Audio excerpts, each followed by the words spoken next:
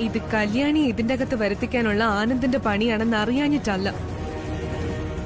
അറിഞ്ഞുകൊണ്ട് തന്നെയാ ഞാൻ അവളെ ഇതിന്റെ അകത്ത് വരുത്തിക്കുന്നത് ഏ? അറിഞ്ഞുകൊണ്ടാണ് കല്യാണിയെ വരുത്തിക്കുന്നേന്നോ? അതെ. ഇപ്പൊ അഖിലാന്റി കല്യാണം വരെ കല്യാണി ഇതിനകത്ത് കയറരുതെന്നല്ലേ വിലക്കിയിരിക്കുന്നത്? ആ വിലക്ക് ആജീവനാന്ത വിലക്കാക്കി മാറ്റാൻ. അഖിലാന്റിയെ കൊണ്ട് കല്യാണിയെ നാട് കടത്തിക്കാൻ. അതിനാ ഞാൻ കല്യാണി വരുത്തിക്കുന്നത്. ഗംഗെ നീ എന്തൊക്കെയോ പ്ലാൻ ചെയ്യുന്നുണ്ടെന്ന് മനസ്സിലായി. പക്ഷെ അത് എന്താണെന്നാ എനിക്ക് മനസ്സിലാവാത്തത്. പറയാം. ഫംഗ്ഷന് വരുന്ന കല്യാണിക്ക് കുടിക്കാൻ കൊടുക്കുന്നു. ഇതകത്ത് ചെല്ലുന്നതോടെ കല്യാണി എല്ലാവരുടെയും മുന്നിൽ വെച്ച് ആനന്ദിനോടുള്ള പ്രണയം വിളിച്ചു പറയും. അതോടെ അവൾ എന്നേക്കുമായി തൃച്ചംബരത്ത് നിന്ന് പുറത്താം. സംഭവമൊക്കെ കൊള്ളാം. പക്ഷെ എനിക്കിതൊന്നും അങ്ങോട്ട് വിശ്വസിക്കാൻ പറ്റുന്നില്ല. ഈ പൊടിയുടെ പവർ എന്താണെന്ന് ഞാനിപ്പോ കാണിച്ചു തരാം.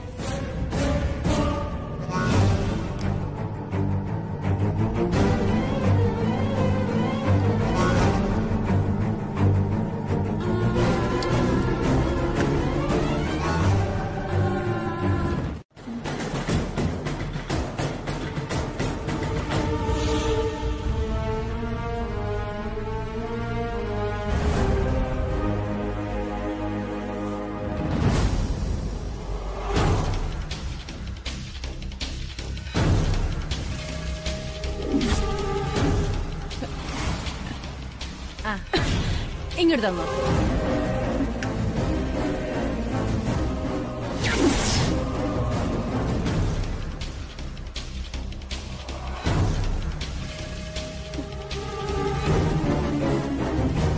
എങ്ങനെയുണ്ട് സ്റ്റെല്ലേ? സൂപ്പറിനറിയാം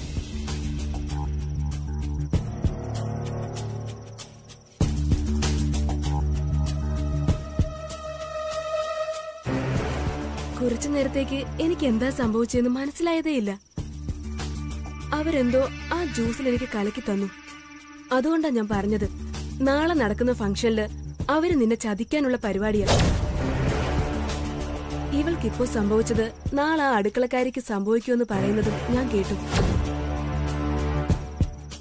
അതുകൊണ്ട് നീ നാളെ അവിടെ വന്നാലും നല്ല ശ്രദ്ധ വേണം.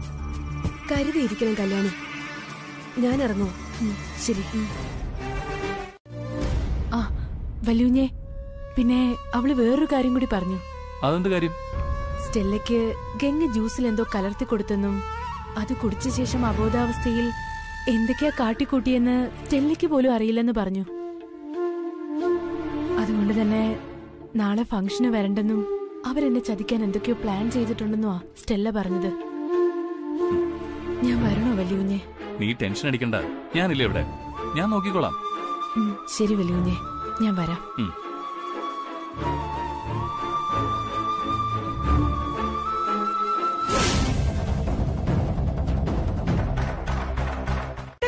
തനിക്കാക്കുക എന്ന് കേട്ടിട്ടുണ്ടോ നീ? ഇല്ല. പക്ഷേ ഇരിക്കുന്ന കൊമ്പ് മുറിക്കരുതെന്നൊരു ചൊല്ലി കേട്ടിട്ടുണ്ട്. ആഹാ. ഹ്. എടി നീ എന്തുദ്ദേശത്തിലാ പറഞ്ഞെന്നുള്ളതെന്ന് എനിക്കറിയാം. ആ വീഴ്ച ഞാനങ്ങ് സഹിച്ചു. ഇന്ന് നീ തൃച്ചംബരത്തേക്ക് നിന്റെ വിലക്ക് മറികടന്ന് വരുന്നത് എന്നേക്കുമായി പുറത്താവാനാ. ചെവിയിൽ നുള്ളിക്കോ നീ. നിനക്ക് വേണ്ടി ഒരു പത്മവ്യൂഹം ഒരുങ്ങുന്നുണ്ട് ഇവിടെ. ആ വ്യൂഹം തകർക്കാൻ ഡ്രൈവർ ദാസിന്റെ മകൾക്കാവില്ല അതിനി ഏത് ആനന്ദകൃഷ്ണൻ സാരഥിയായിട്ട് മുന്നിലും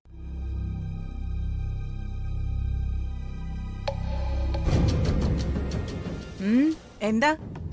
അല്ല അവളിനി ഫംഗ്ഷന് വരാതെങ്ങാനിരിക്കുമെന്നാ എനിക്കിപ്പോ സംശയം. നല്ല കഥയായി. അഖിലേച്ചി ഫംഗ്ഷന് വരാൻ പറഞ്ഞു എന്ന് ആ സ്റ്റെല്ല ചെന്ന് അറിയിച്ചപ്പോ മുതൽ അവൾ തപസിരുന്ന് നേരം വെളുപ്പിച്ച് പ്രത്യക്ഷപ്പെട്ടിട്ടുണ്ട് ഇവിടെ. ആ എത്തിയോ? അതല്ലേ പറഞ്ഞതിപ്പോ? അകത്ത് കയറാനുള്ള മുഹൂർത്തം നോക്കി പുറത്ത് നിൽപ്പുണ്ട്.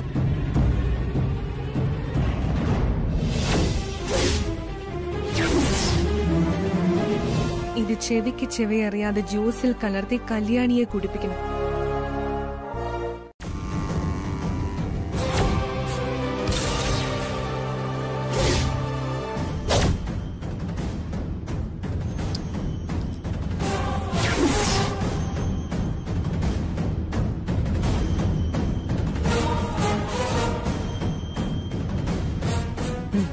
നീ കൊണ്ടുകൊടുക്ക്. ആ ശരി ആന്റി എന്തെങ്കിലും പറഞ്ഞു കുടിപ്പിച്ചിരിക്കണം. അത് ഞാൻ ഏറ്റു. ശരി ശരി. പോയിട്ട് വാ. തന്നോ?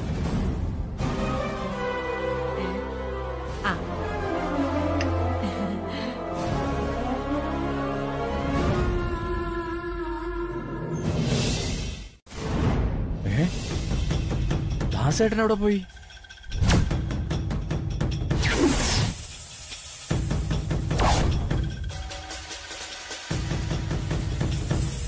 ഛേ, മേനോൻ സാർ ഇതെവിടെ പോയി. എവിടെയെങ്കിലും മാറി നിന്ന് ഫോൺ ചെയ്യുന്നുണ്ടാവോ? ഇത്ര നേരം ഇവിടെ ഉണ്ടായിരുന്നല്ലോ. ഏ എവിടെ പോയി? ആ സാർ ഇവിടെ ഉണ്ടായിരുന്നോ? എന്താ ദാസേട്ടാ? ദാസേട്ടന് എവിടെ പോയി? സാർ ഞാൻ സാറിനെ അന്വേഷിച്ച് നടക്കായിരുന്നു. ദാസു വല്യേട്ടാ വല്യേട്ടൻ എന്തിനാ എന്നെ ഒറ്റയ്ക്കാക്കിട്ട് പോയേ? ഏ? വാ പോവാം. ഇപ്പൊ അയ്യ സാർ ഇപ്പൊ വേണ്ട സാർ. സാർ ഇപ്പൊ പോയാൽ ശരിയാവില്ല. ഇങ്ങോട്ടിരിക്കേ. ഇല്ല എനിക്ക് പോണം. പോയി എല്ലാരോടും കുറച്ച് കാര്യങ്ങൾ പറയാനുണ്ട് എനിക്ക്. ഡാൻസ് ഇപ്പൊ തുടങ്ങും ദാസേട്ടാ. എനിക്കും കളിക്കണം ഡാൻസ്. എന്നെ കൂടെ കൊണ്ടുപോകും ദാസേട്ടാ.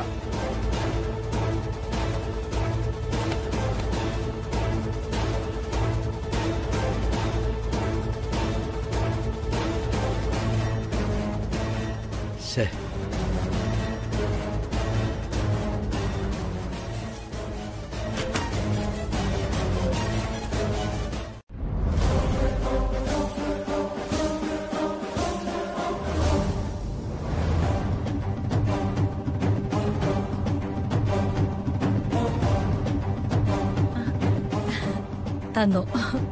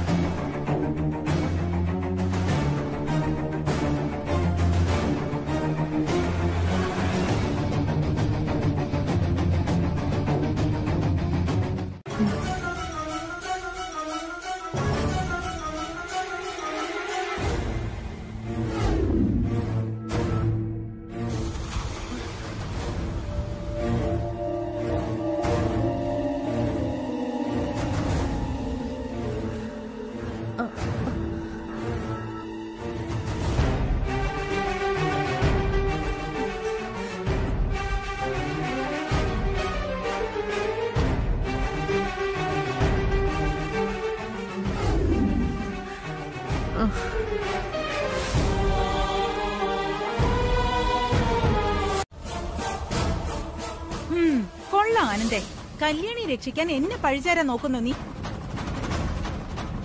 എന്താ? ഞാൻ പറഞ്ഞു അവളോട് നിന്നെ വന്ന് കെട്ടിപ്പിടിച്ച് ഉമ്മ വെക്കാൻ?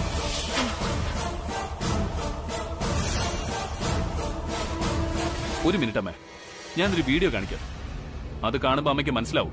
കല്യാണിയുടെ ഭാഗത്തു നിന്നും ഇങ്ങനൊരു സംഭവം ഉണ്ടാവാൻ എന്താ കാരണമെന്നും. അതിന്റെ യഥാർത്ഥ കാരണക്കാരി ആരാണെന്നും. എന്ത് വീഡിയോ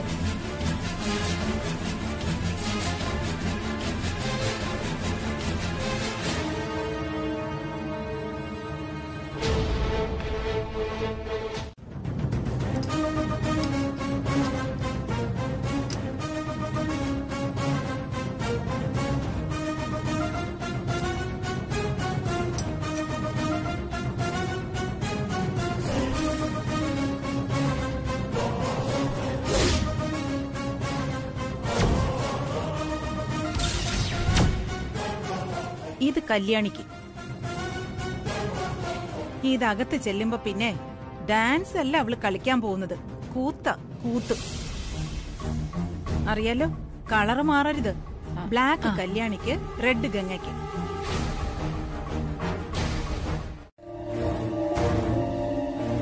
ദാസേട്ടാ. ആ മാഡം. കല്യാണി വീട്ടിലേക്ക് കൊണ്ടുപോയിക്കോ. ഇനി ഡാൻസ് ഒന്നും വേണ്ട. ഈശ്വര കല്യാണി പോവാണല്ലോ. അവൾ പോയ പിന്നെ എനിക്ക് എന്റെ വെല്ലുവിളി ജയിക്കാൻ പറ്റില്ല. ഞാൻ പരമ്പരാഗത ആഭരണങ്ങൾ അണിയുന്നത് അവൾ കാണണം. എന്താ ഒരു വഴി? നിൽക്ക് കല്യാണി? ഗംഗ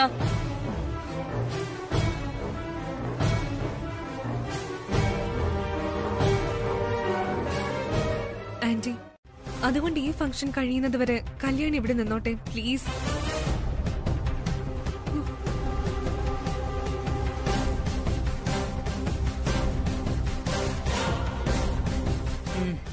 ശരി. നിന്റെ ആഗ്രഹം പോലെ കല്യാണി ഇവിടെ നിൽക്കട്ടെ സ്റ്റെല്ല. മാഡം. പോയി പരമ്പരാഗത ആഭരണങ്ങൾ എടുത്തോണ്ട് വാ. ശരി മാഡം. ജയന്തി. ആന്റി നീയും കൂടി സഹായിക്കും. ശരി ആന്റി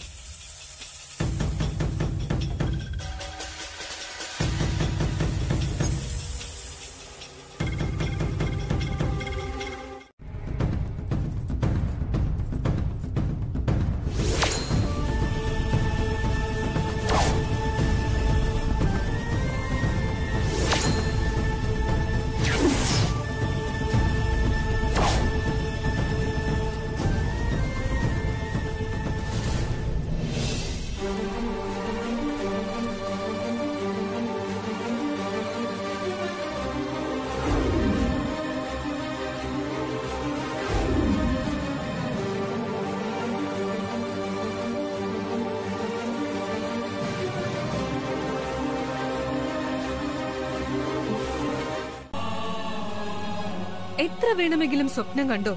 പക്ഷെ ഉണർന്നെഴുന്നേക്കുമ്പോ അത് വെറും സ്വപ്നങ്ങളായിരുന്നു എന്ന് തിരിച്ചറിയണം. അല്ലെങ്കിൽ ഒരു ജന്മം വെറുതെ പാഴായി പോവും മനസ്സിലായില്ലേ?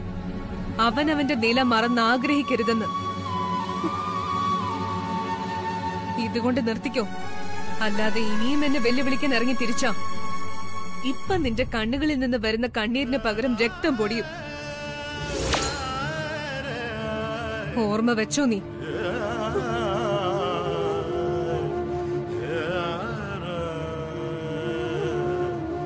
തീ കെടാതിരിക്കാനാണോ ഞാൻ കൈ ചേർത്ത് പിടിച്ചത്? ആ തീ തന്നെ എന്റെ ഉള്ളം കൈ പൊള്ളിച്ചുകൊണ്ടിരിക്കുന്ന അവസ്ഥയപ്പോ നീ എന്താ ഉദ്ദേശിക്കുന്നത്? ഇന്ന് ഫംഗ്ഷനിൽ നടന്നതിനെ കുറിച്ചാണ് ഞാൻ പറഞ്ഞത്. കല്യാണി ആനന്ദിന്റെ നെഞ്ചിലേക്ക് ചാഞ്ഞതിനെ കുറിച്ചാണോ നീ പറയുന്നത്. അഖിലേ ആനന്ദും നീരജും ഒരേ കളറിലുള്ള കോട്ട് ഇട്ടതുകൊണ്ട് പിന്നെ ആ വിലാസിന് ചെയ്ത ചതി കൊണ്ടുമാണ് അങ്ങനെ സംഭവിച്ചതെന്നും നിനക്കറിയാവുന്ന കാര്യമുണ്ട്. പിന്നെ നീ എന്തിനാ വെറുതെ എങ്ങനെ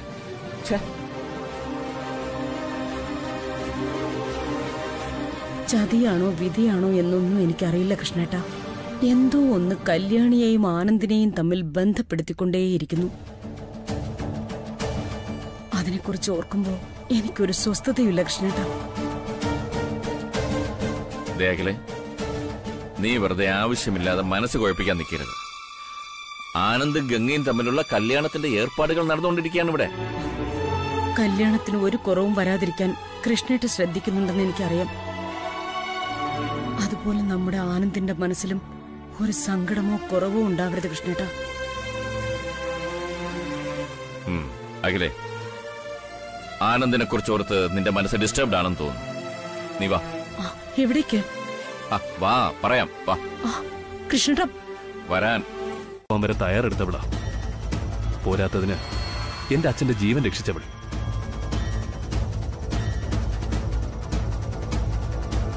അവൾ എന്റെ കല്യാണം വരെ ഈ വീട്ടിലേക്ക് വരരുതെന്ന് അമ്മ വിലക്കരുതായിരുന്നു. അതിലെ അമ്മ എനിക്ക് വിഷമം. അമ്മ എന്റെ കല്യാണം ഈ നാട് കണ്ടിട്ടില്ലാത്ത രീതിയിൽ നടത്തുമെന്ന് എനിക്കറിയാം. പക്ഷേ തൃച്ചംബരത്തോട് ഇത്രയും കൂറും വിശ്വാസവും കാണിക്കുന്ന കല്യാണി കല്യാണത്തിൽ പോലും പങ്കെടുക്കാൻ കഴിയാതെ മാറി നിൽക്കുമ്പോൾ എന്റെ ഉള്ളിൽ ഒരു സങ്കടം ബാക്കി കിടക്കുമേ ആനന്ദ് നീ പറഞ്ഞതൊക്കെ ശരി തന്നെയാ. പക്ഷേ കല്യാണം ഒരു കുഴപ്പവും കൂടാതെ നടക്കണമെങ്കിൽ കല്യാണി ഈ വീട്ടിൽ വരാൻ പാടില്ല എന്ന് ഗുരുജി പറഞ്ഞു നീ മറന്നോ? ഗുരുജിയുടെ വാക്ക് എനിക്ക് എങ്ങനെ ധിക്കരിക്കാൻ പറ്റും? സാരമില്ലമ്മേ. മനസ്സിൽ എന്തെങ്കിലും സങ്കടമുണ്ടോ എന്ന് ചോദിച്ചുകൊണ്ട് പറഞ്ഞതേ ഉള്ളൂ.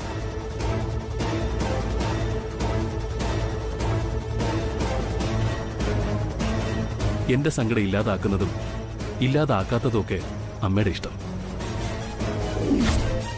ഇന്ന് ഇവിടെ വെച്ച് നടന്ന എൻഗേജ്മെന്റ് ഫംഗ്ഷനിൽ വെച്ച് പോലും ആനന്ദ് എന്നോട് സ്നേഹത്തോടെ ഒരു വാക്കോ നോട്ടോ? ആ കല്യാണിയുടെ കൊഞ്ചു കൊഴിയുന്നുണ്ടായിരുന്നല്ലോ കഷ്ടമുണ്ട് ബ്രോ ഇത്. ബ്രോ ബ്രോയ്ക്ക് പറയാൻ പറ്റില്ലായിരുന്നെങ്കിൽ ഞാൻ പറയായിരുന്നല്ലോ. എന്തിനാ ബ്രോ എന്നെ തടഞ്ഞത്? അരവിന്ദ് അമ്മ കല്യാണിയെ തൃച്ചംബരത്തേക്ക് തിരികെ കയറ്റാൻ തന്നെ ഇത്രയും ചിന്തിച്ചെങ്കിൽ. കല്യാണിയെ കെട്ടിച്ചു തരണമെന്ന് പറഞ്ഞ എന്തായിരിക്കും അവസ്ഥയെന്ന് ഊഹിച്ചു നോക്കിക്കൂടെ? പിന്നെ ഒരു നിമിഷം കല്യാണി തൃച്ചംബരത്തുണ്ടാവില്ല. എനിക്ക് എനിക്കൊന്നും മനസ്സിലാവുന്നില്ല ബ്രോ. അല്ല എന്താ ബ്രോയുടെ മനസ്സിലിപ്പോ എനിക്ക് അറിയാത്തോണ്ട് ചോദിക്കുക അരവിന്ദ് എനിക്ക് കല്യാണിയെ വേണം. ആർക്കും വിട്ടുകൊടുക്കില്ല അവളെ. അതുപോലെ അമ്മയെ മരണത്തിന് വിട്ടുകൊടുക്കാൻ ഞാൻ ഒരുക്കമല്ല. അതിനുവേണ്ടി ഈ കഷ്ടപ്പാടൊക്കെ. മാറ്റി. പഴയതുപോലെ നാളെ മുതൽ നിനക്ക് ജോലിക്ക് വരാം.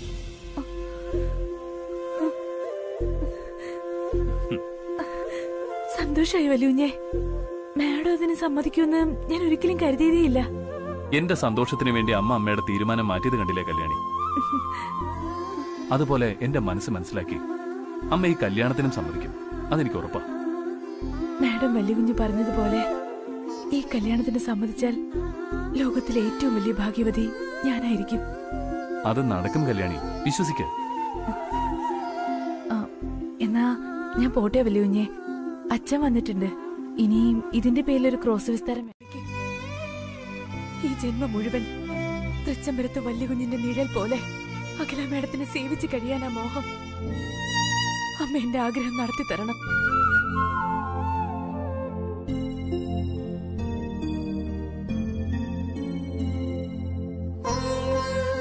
എന്റെ കല്യാണം വരെ നിന്നോട് തൃച്ചംബരത്തേക്ക് വരാൻ പാടില്ലെന്നല്ലേ അമ്മ പറഞ്ഞിരുന്നത്? ഇപ്പോ അമ്മ തീരുമാനം മാറ്റി. പഴയതുപോലെ നാളെ മുതൽ നിനക്ക് ജോലിക്ക് വരാം.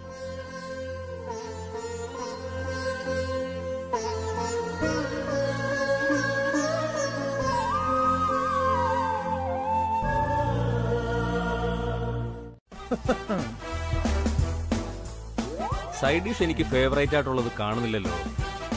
സൈഡ് ഡിഷ് അരവിന്ദന്റെ കയ്യിലുണ്ട്. കണ്ടടേ അച്ചാറല്ലേ? എന്തേലുണ്ട്.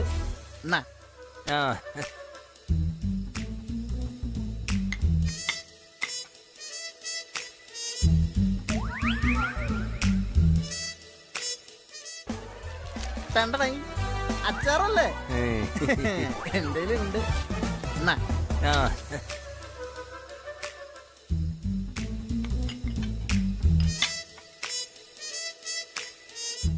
കല്യാണി ഇപ്പോ ഈ നിമിഷം ഇവിടെ എത്തണം. അവളിപ്പോ ഇവിടെ എത്തുകയാണെങ്കിൽ എനിക്ക് കല്യാണിയോടുള്ളത് വെറും സൗഹൃദമല്ല പ്രണയമാണെന്ന് ഞാൻ സമ്മതിക്കും.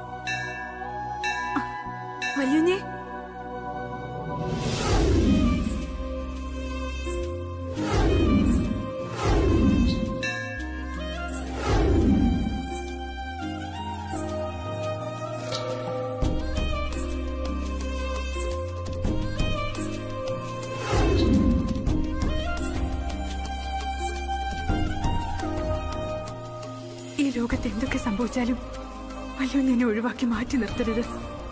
എനിക്ക് താങ്ങാൻ അങ്കിളിന്റെ ആരാ? ആരും അല്ലേ? ഗംഗയും എന്റെ മോൾ തന്നെ. ആദ്യം മോളുടെ പേര് മധുമതി എന്ന് പറഞ്ഞിട്ട് ഇപ്പൊ ഗംഗയാണ് ഗംഗയെ എളുപ്പത്തിന് വിളിക്കുന്നതാ മധുമതിന്ന്. ഓ! ഗംഗയെ ചുരുക്കി വിളിക്കുന്നതാണോ? മധുമതി അത് കൊള്ളാം. കളക്കി കളക്കി നിങ്ങൾക്കൊരു കാര്യം അറിയോ? എന്റെ മോന്റെ പേര് പുഷ്പൻ എന്നാ. അവനെ ഞങ്ങൾ ചുരുക്കി വിളിക്കുന്നത് പുഷ്പാങ്കതൻ എന്നാ. അത് കളക്കി അത് കളക്കി ആദ്യം അങ്കിൾ ഇവിടെ ഇരുന്ന് കുറച്ചേരം മയങ്ങ്. എന്നിട്ട് അകത്തോട്ട് പോവാം ഇന്ന് ഇവിടെ ഇരുന്ന്. വാ. ഈ ഏ, ഞാൻ ഇരിക്കാം, ആ ഞാൻ കുപ്പിയുടെ ഉള്ളിൽ ഇരിക്കാം. നിന്ന് ഞാൻ ഇരിക്കാം. ആ. ഈ കണ്ണോടിയൊക്കെ അവിടെ ഇരിക്കട്ടെ. ഹും. നൈറ്റ്. അത് Good സുഖമാണ്. afternoon. നമുക്ക് ചൂടോടെ അതങ്ങ് ബ്രോയാൻ അറിയിക്കാം അതിനു മുമ്പ് രണ്ടെണ്ണത്ത് അടിക്കാം വാ